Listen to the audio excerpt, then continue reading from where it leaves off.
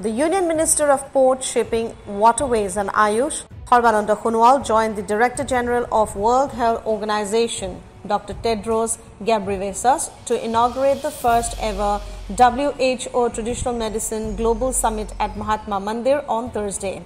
More than 75 nations participated in this summit, making a historic stride towards research and propagation of traditional medicine for enriching the quality of lives of humanity.